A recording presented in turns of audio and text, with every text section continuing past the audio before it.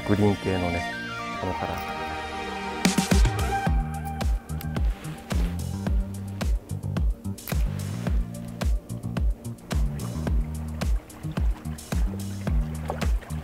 半押しきた。よっしゃた釣れた。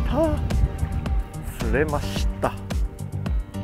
だってさこういう港湾部ってあの釣り人多いのであの結構魚が擦れてる感じですよね、うん、まあその中でもねやっぱりまたこうやって魚を引っ張り出してきてくれるっていうのがねこのサスケ50のこう5分ロードのねあのまあ、ナチュラルな泳ぎがいいんじゃないかと。